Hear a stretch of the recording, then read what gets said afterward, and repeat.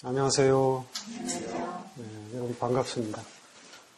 음, 앞으로 이제 음, 8주 동안 음, 큰 스승 공자 그리고 큰 가르침 논어라는 그 강좌를 가지고 여러분들과 함께할 전호근이라고 합니다. 음, 아마도 이제 그 가장 많이 읽게 될 문헌은 논어일 텐데요. 음, 그렇다고 해서 뭐그 강독처럼 논어를 하나하나 읽어가는 방식은 아닙니다. 시간이 이제 8주로 제한되어 있기 때문에 어, 논어를 일일이 다 읽을 수가 없죠. 그래서 이제 제가 정리한 8개의 어, 주제, 그러니까 크게는 8개의 주제고 또 음, 그걸 또 나누면 한 16가지 정도 되는 주제를 가지고 그 주제에 합당한 부분만 여러분들과 이제 함께 할 것입니다.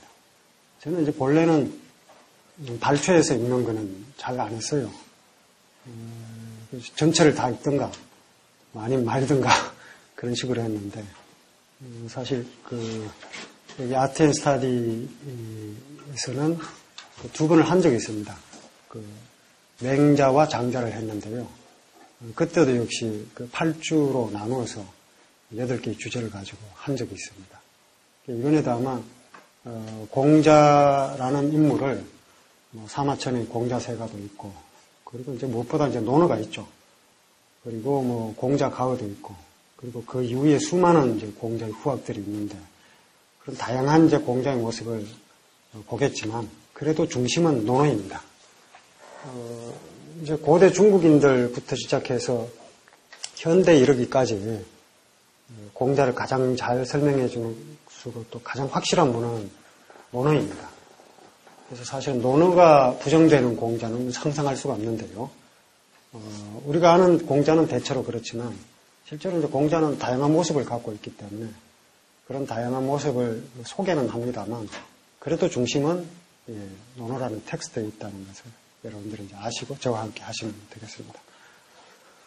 어, 생각보다도 사실은 그 우리에게는 논어라는 그 문헌이 그 학문적으로는 엄청난 영향을 끼쳤습니다.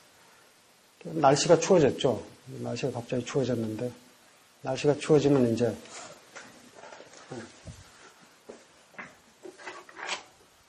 어, 세한도라는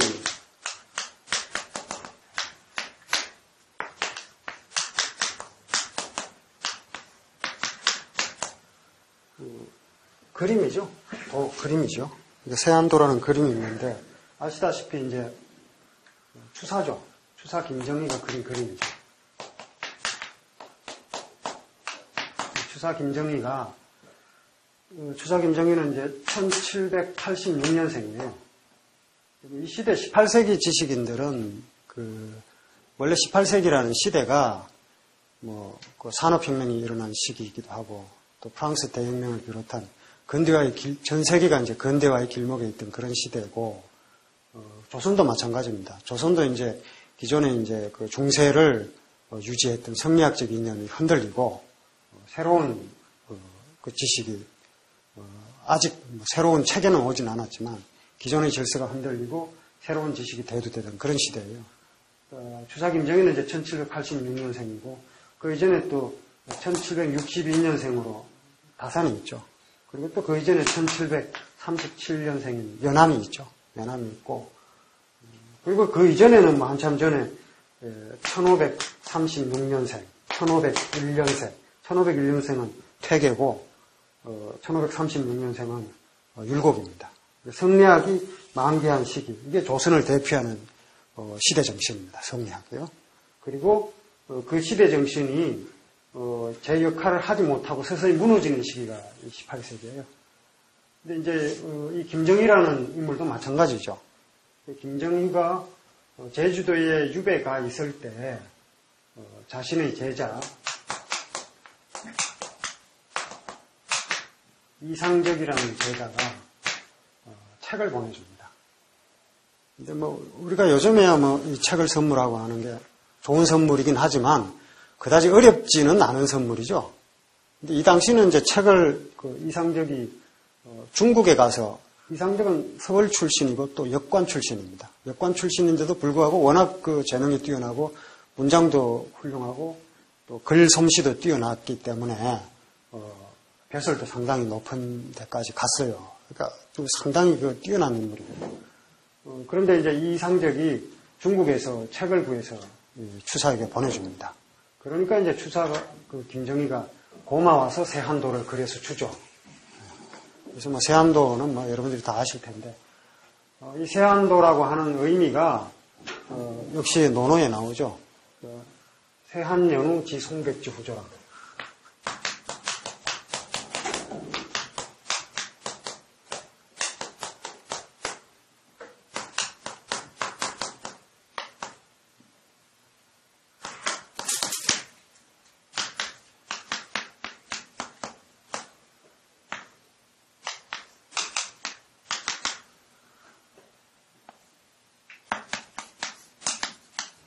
오늘은 글자는 이제 이렇게 되어 있는데, 이건 새긴다는 뜻이고, 이게 시든다는 뜻이죠.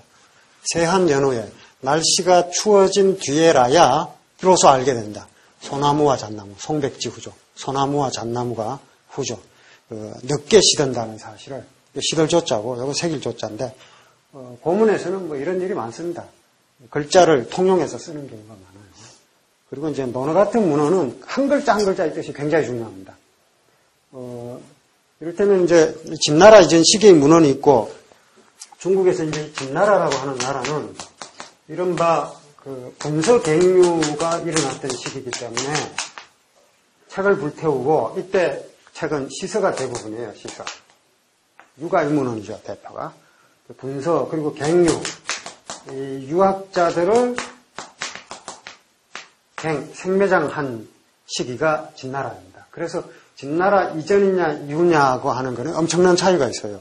그러니까 문헌이 진나라 이전까지는 어, 그대로 보존되어 있었지만 진나라에서 본서 물리적으로 만들어져 있는 책, 주간이든 목간이든 뭐 어, 목판이든 이런 것들이 불태워지고 그리고 또 유학자들은 어, 가장 좋은 매체는 사실 사람의 두뇌죠. 사람의 지식을 가장 잘 담을 수 있는 건 사람의 머리일 텐데 이것만 불태워갖고는 소용이 없죠. 머릿속에 있는 것까지 다 없애야 되니까 사람을 어, 책만 불태우고 사람 놔두면 아무 소용이 없어요. 아시다시피. 사람까지 이제 매장을 한 거죠. 그래서 뭐 얼마 안 주겠네 어쨌네 하지만 그렇게 넘어갈 수 있는 문제가 아닙니다. 찍어서 몇백 명 이렇게 죽이면 다 죽인 거나 마찬가지거든요. 예, 뭐몇 권안 태웠다 이런 말로는 음, 피해갈 수가 없는 엄청난 문화적인 폭력인데 어, 이 일이 있고 난 후와 이전이 이른바 어, 선진 시기냐 아니면은 그 이후냐로 구분이 됩니다. 이 이후는 모두 진나라 이전 시기에 본래의 시설을 비롯한 문헌을 복원하는 게 가장 먼저예요. 어떤 사람의 생각을 알기 위해서 우리가 그 사람이 남긴 글을 읽잖아요. 근데 그 글이 정확하냐 아니냐의 문제이기 때문에 잘못 정확하지 못한 책을 가지고 그 사람의 사상을 이야기하거나 어, 또는 뭐그 어, 사람 그 텍스트를 기반으로 다른 이야기를 했을 때 만약 그 문헌이 잘못 잘못되었다면 그게 다 그냥 공중분해되는 그런 상황이죠. 그래서 사실은 이, 이 이전이냐 이후냐고 하는 게 이제 가장 큰 의미를 가지는데 어, 이 논어나 맹자나 이런 문헌들은 그래서 한 글자 한 글자가 중요합니다. 그 이후에는 이제 글자와 글자가 모여가지고 여러 가지 그 의미도 만들어지고 맥락도 다양해지기 때문에 그 이후에는 사실은 어, 맥락이 더 중요하고 어, 글자 한 글자 한 글자가 상대적으로 덜 중요해요. 중요하긴 합니다만. 그래서 어, 논어나 맹자 등의 고문원을 읽을 때는 한 글자 한 글자가 중요하기 때문에 사실 이런 글자 하나하나를 설명하는데 상당한 시간을 제가 그 할애를 할 겁니다.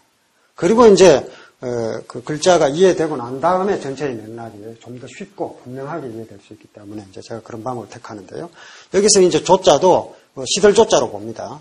그래서 어, 날씨가 추워진 뒤에 소나무와 잣나무가 늦게 시든다는 걸 안다. 이런 의미로 이제 추사 김정희가 이상적에게 보냈는데 역시 마찬가지입니다.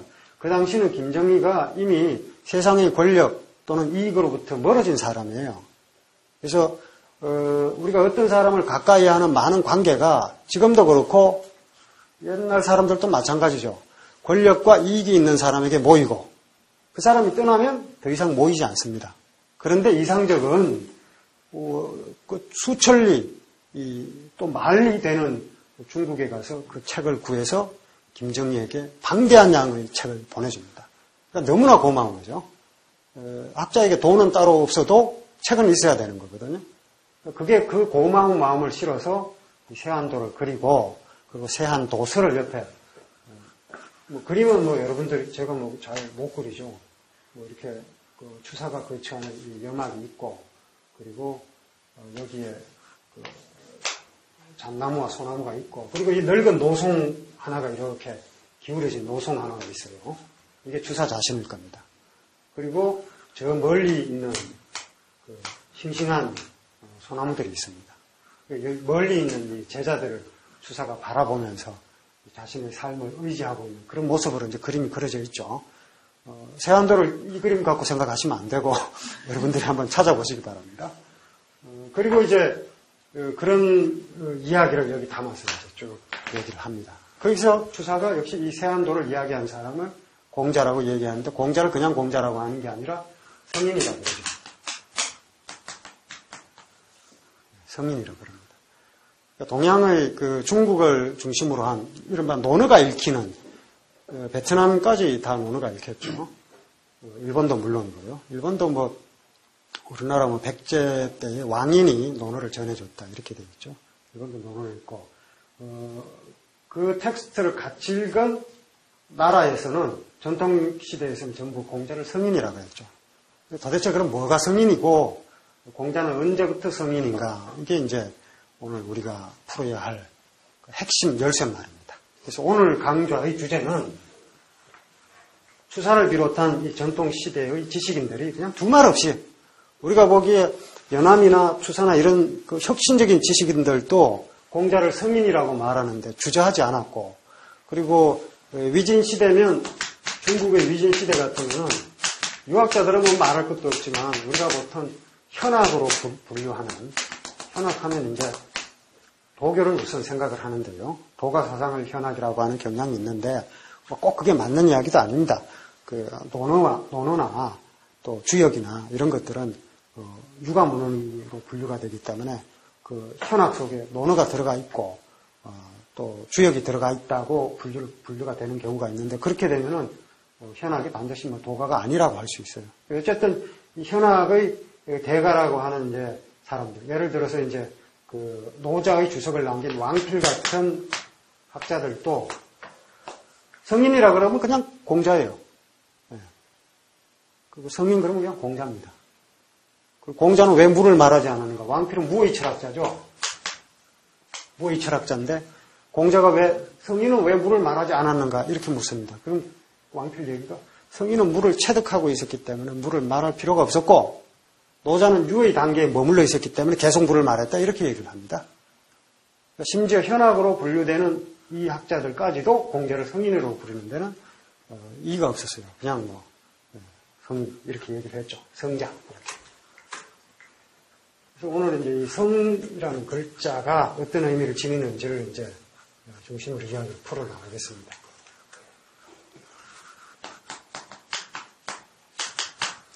공자에 대한 호칭은 어, 여러 차례 변했어요. 어, 떻게 보면 뭐 공자는 그 벼슬이라고 해야 노나라에서 석 달 동안 한 게 다고 이렇다 할그 그 정치적인 뭐 업적이나 업적도 뭐 남긴 남긴 건 있습니다만 그게 크다고 할 수 없습니다. 어, 뭐 3개월 정도 노나라에서 그 정치한 게 다이고 그 외에는 이제 결국 노나라에서 축출이 돼서 제 나라로 가고 또 제 나라에서 위나라로 가고 위나라에서 남쪽 채나라, 진나라, 초나라 뭐 천하를 이제 돌아다니죠. 14년 동안 돌아다닙니다. 그러다 결국 이제 자기를 알아주는 분들을 찾아다녔는데 어, 만나지 못하죠. 만나지 못해서 이제 공자가 불우한 지식이나라고 하는데 뭐 꼭 불우하다고 할 수는 없겠습니다만 저는 뭐 공명이 불우하다고는 전혀 생각이 안 되거든요. 음, 근데 어쨌든 어, 자신의 그 정치적 포부를 펼칠 만한 그런 상황은 되지를 않았습니다. 어, 그랬는데 그 정도로 이제 어, 해서 제자들을 양성하는 걸로 이제 삶을 마쳤는데 어, 공자를 이제 사마천이 사기로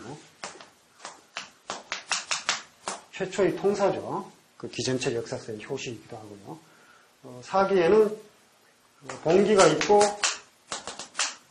또 세가가 있고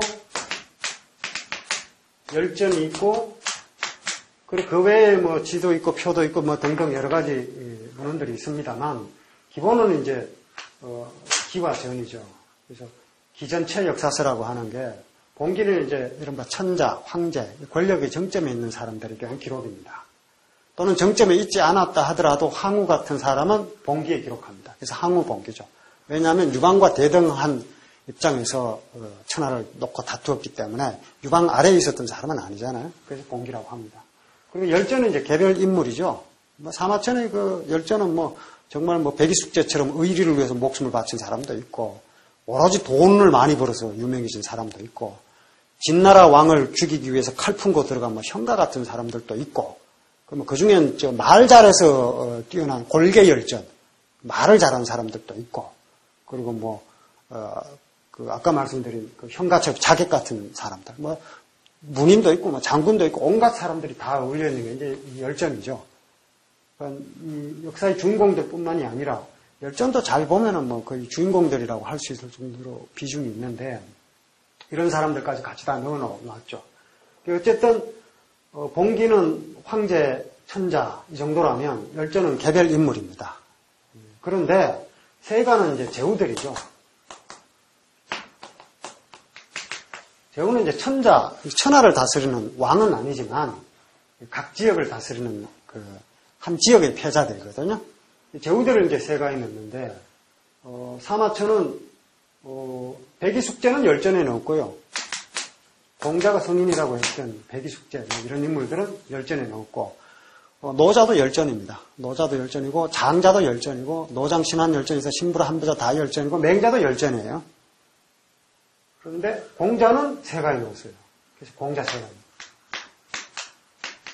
글자 수도 어, 글자 수가 뭐 꼭 절대적인 건 아닙니다. 어, 그, 그런데 어쨌든 맹자 열전은 137자밖에 안 되고요. 그리고 장자 열전은 235자고요. 그리고 형가 열전은 또 3천자가 넘어요. 자객 열전인데. 좀 이상하죠? 뭐, 뭔가 컴플렉스가 좀 있나 봅니다. 사마천이. 그런데 공자세가는 7천자가 넘습니다.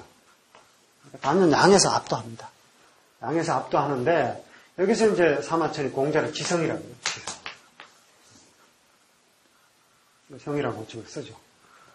어, 그리고 이제 뭐 그 이전에 맹자 같은 그 공자의 그 후계자는 스스로 이제 후계자를 자처했지만 어, 그런 후계자가 성인이다 이렇게 얘기하는 것은 우리가 당연시 한다 하더라도 사마천처럼 이렇게 역사를 기록하는 어, 그런 입장에서 공자를 지성이라고 한 것은 후세의 평가라는 점에서 맹자와는 또 다른 의미를 지닙니다.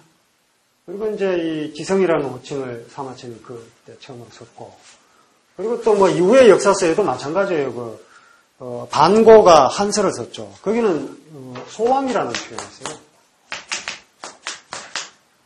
그러니까 소는 힐소자. 그러니까 뭐가 냐 무관의 제왕이다 뭐 이 뜻이에요.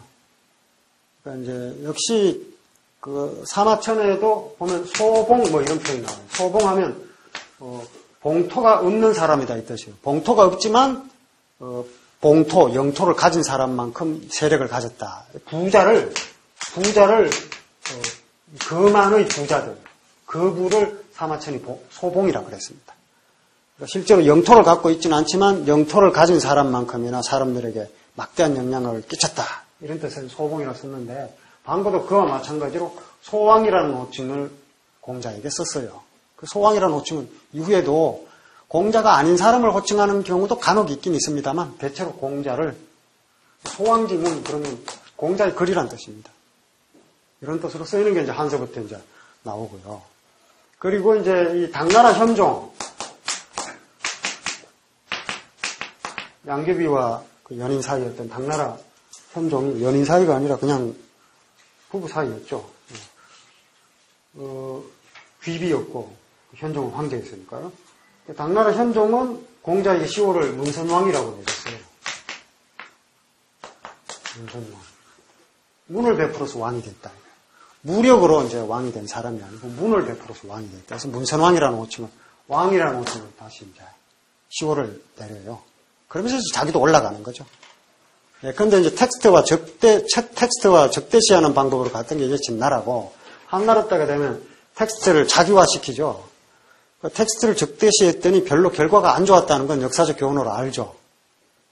뭐, 우리나라 정권은 아직도, 어, 정신 못 차린 것 같고요, 제가 보기에. 걸핏하면 무슨 검서, 무슨, 또 뭐, 불온 문서, 뭐, 불온 서적, 뭐 이러는데, 참 진짜 불온한 생각입니다, 그게. 예. 그 제대로 된 불온이에요, 그게. 이상한 생각인데, 하여튼, 어, 무력이 아닌 문으로 왕이 되었다고 이렇게 시호를 내리면서 자기도 이제 현종도 스스로 이제 자기를 띄우는 겁니다. 그런 식으로. 진나라 시영지처럼 막 이렇게 했더니 금방 망했단 말이에요. 한나라는 이제 그걸 국가화 시켰죠. 국가 이데올로기화 시킵니다.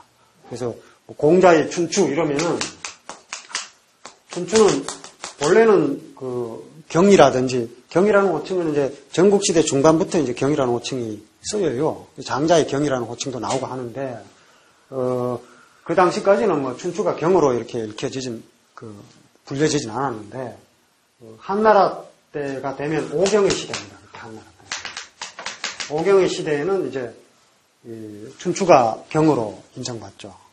한나라 학자들이 그 한나라 또 통치자들이 춘추를 왜 좋아하냐면 공자가 저술을 했다고 전해지는 이 춘추가 바로 한나라가 들었을 것을 예언한 책으로 간주합니다. 그래서 성인인 공자가 한나라의 정통성을 인정한 책이다. 이런 식으로 해석을 해요. 그런 식으로 막 텍스트를 막 자기 편으로 막 끌어들이는 거죠.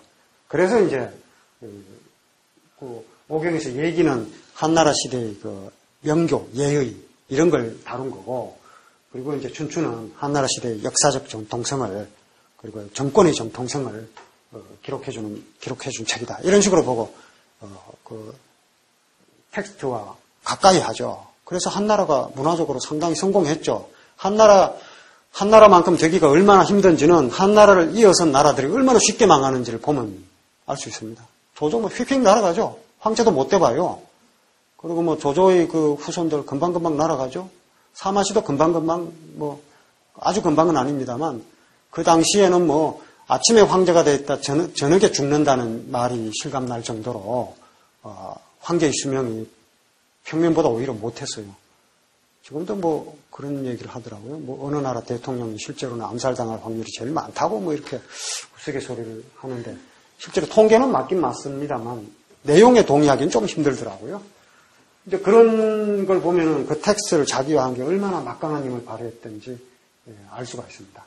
근데 어쨌든 이제 어, 당나라 때는 공자를 문선왕이라고 그랬고 그리고 송나라 진종 때가 되면 송나라 진종이 또 유식한 군주예요. 어, 그러니까 송나라는 이제 문치의 나라이기 때문에 송나라는 이제 그 원래는 당나라가 당나라 다음에 이제 그 5대의 혼란기가 있고 어, 그리고 이제 송나라가 들었었잖아요. 그 5대 중에서 이제 후주 후주의 장군이었던 조광년이 쿠데타를 일으켜갖고 어, 송나라를 세운 겁니다. 그게 이제 어, 송나라의 그 시작인데 어, 당나라가 뭐 때문에 망했느냐? 지방의 군벌 때문에 망했잖아요. 안사의 난이, 알록산 사사명의 난이 다 그렇잖아요. 그러니까 이제 문치를 내세웠죠. 그렇다고 송나라가 약한 나라는 결코 아닙니다. 송나라 시대의 그 과학기술의 발달은 군사적으로도 굉장히 괄목할 만한 성장이 있었기 때문에 어, 전쟁터에서 처음으로 대포를 사용하기도 했고 아주 강력했어요. 강력했지만 상대가 너무 강력했죠 상대적으로. 이런 거 이제 몽골이 이제 팽창하는 그런 시기였기 때문에 망하고 말았지만 어쨌든 무보다는 문을 내세웠어요. 왜냐하면 무를 기준으로 통치를 하다 보니까 이게 통제가 안 된다는 걸 알게 되는 거죠. 지방의 군벌대로 통제할 수가 없게 되는 거예요. 결국 문치를 내세우고 어, 그리고 뭐 송나라 인종이나 진종이나 전부 오랫동안 장기 집권한 황제들이고 인종은 뭐 40여 년 이상 다스렸단 말이에요. 그러니까 이런 황제들이 전부 이제 그 걸빨도 좋고요. 뭐 진종 황제 권학문 같은 학문을 권장하는 걸, 뭐 그런 것도 있어요. 인종도 권학문 있고 그런데 진종 때에는 이제 어,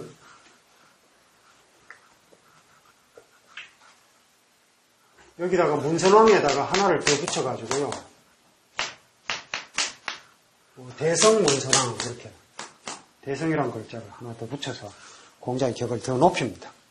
송나라 시대의 공자가 더 올라가는 거죠.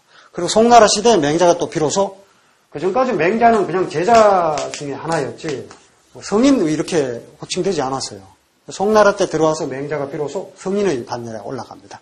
그러니까 유학이 그만큼 진흥되고 문치가 그만큼 더 진흥된 거죠. 그리고 그런 또 국가 이데올로기를 이어받은 게 또 조선일이라고 할 수도 있고요.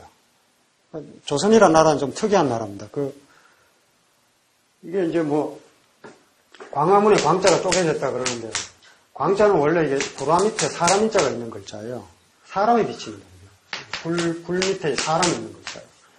그 해인사에서 찍어낸 그 팔만 대장경, 대장경 판본의 광자는 이렇게 써져 있어요. 새겨진 게. 사람이에요. 예를 들어서 어, 이게 이게 있으면 다 사람입니다. 볼견자도 이제 사람이 보면서 움직여 다니는 거고 이것도 사람이에요. 형, 이거 다 사람인데 어, 광은 이게 사람의 빛입니다. 이게 이제 뭐 금이 같구만요. 예. 근데 근데 이게 광화문이라고 할 때 이 광은 덕을 뜻하는 거죠. 덕지광이 사람의 빛인데 덕의 빛입니다. 덕의. 조선의 정문들은 다 인화문 이래죠. 인화문. 인이 덕 중에 어떤이죠. 인화문은 경희궁의 정문인가 그럴 겁니다. 지금은 없지만. 돈화문, 창덕궁의 정문이 돈화문이잖아요. 이것도 중용에 나온 말이고요. 대덕도나 소덕천류. 전부 덕으로 다스린다는 뜻으로 이제 명칭을 그렇게 지은 겁니다. 조선은 그런 나라예요, 기본적으로. 그 덕이라고 하는 그 태제를 어떻게 장악하느냐. 거기서 논리 싸움에서 이겨야 거기서 잡는 겁니다. 일본은 어떨까요? 일본은 그냥 칼로 이겨야 됩니다. 그래서 칼로 이기면 대포 갖고 들어오면 금방 굴복하고 승복하고 아이고 형님 하죠. 근데 이쪽은 뭐 대포 갖고 들어오고 뭐 아무리 해도 형님 승복 안 해요. 승복이 지배가 안 되죠. 지배가 안 돼요. 근데 어쨌든 그게 근대의 길목을 잡는 또, 어, 알 수가 없는 거죠, 역사란 게. 중세가 그만큼 공고하다는 얘기는 그만큼 그렇게 쉽게 안 무너진다는 얘기인데 지금 우리 입장에 보면 빨리 좀 무너져갖고 새롭게 들어서면 좋을 법한데 잘 안 무너지니까 그 유지하고 있는 쪽에서는 그게 강고한 질서를 가져다 주니까 좋고 또 그걸 또 무너뜨리고 싶은 쪽에서는 그게 너무 강고하니까 또 안 좋죠. 양면성이 있는 겁니다. 일본 같은 경우에는 그게 쉽게 무너졌죠. 힘의 논리에 의해서 쉽게 무너졌기 때문에 어떻게 보면 가장 먼저 근대가 된 거죠. 그게 또 어떤 역사적 결과를 가져왔느냐. 일본 지식인들은 그렇게 좋아하지는 않더라고요. 간 길이 제국주의였거든요. 제국주의는 타, 타국을 식민지 지배하는 것이기도 하지만 자국의 사람들을 전지체제로 갈, 끌고 가잖아요. 그래서 다 몰아수주겠다 이렇게 보는 거죠. 우파들은 그렇게 안 보지만 그 좌파 지식인들은 그렇게 보죠. 제국주의 결과가 뭐냐. 온 국민을 다 죽음으로 몰아넣었다 이렇게 보기 때문에 어, 그렇게 높이 평가하지 않습니다. 그런 점에서. 그건 좀 다른 얘기고 어쨌든 대성문선왕 이런 식으로 이제 올렸다가 원나라 때는 원나라는 이민족인데도 불구하고 원나라 무제 때는 대성 지성이라고 해서 뭐 그냥 또 하나 더 붙입니다. 대성 지성 문선왕 이런 식으로 고칭을 해서 원나라의 지배력이라고 하는 거는 무력으로 어, 천하를 다스리는 거지만 그, 그 당시 이제 몽골이 세계를 제패한 거는 말 때문이죠 말.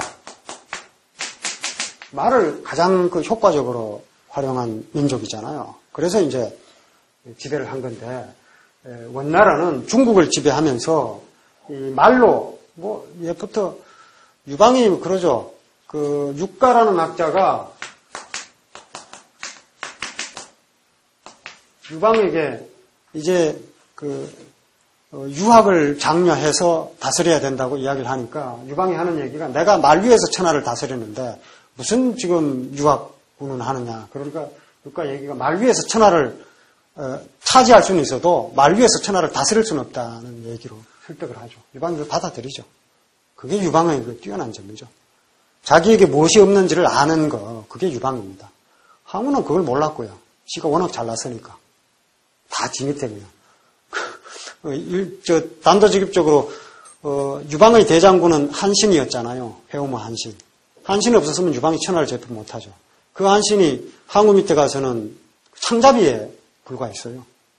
무슨 얘기냐면, 어, 한신, 항우가 그 제대로 알아보지 못한 불찰도 있지만 항우 밑에는 또 수많은 인재들이 있었던 거죠.